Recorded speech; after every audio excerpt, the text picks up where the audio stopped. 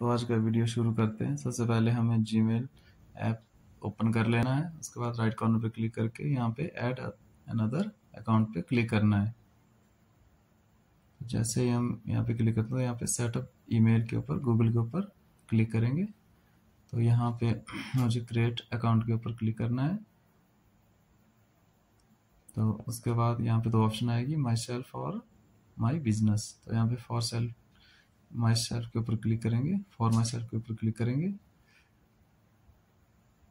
और यहाँ पे आपके पास create a Google account enter your name तो यहाँ पे आपने अपना नाम एंटर कर लेना है। और जो सर नेम है वो ऑप्शनल है तो यहाँ पे हम अपना नेम एंटर कर लेंगे, जो भी आप रखना चाहें।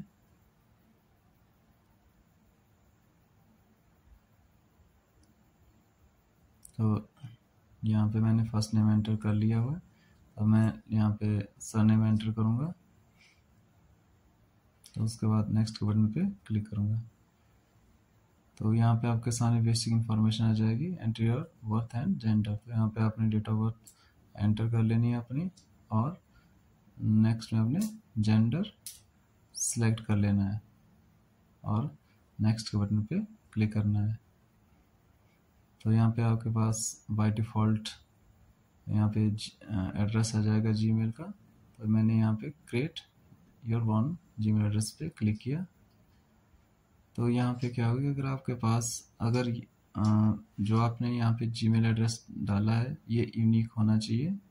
अगर ये मैच होता है तो यहाँ पे आपको एरर शो हो जाएगा। तो यहाँ पे मैं एक नाइन और ऐड कर लेता हूँ। देखते हैं। तो ये मेरा सक्सेसफुली क्रिएट हो चुका है। तो यहाँ पे मुझे अब एक स्ट्रॉन्ग पासवर्ड सेट करना है।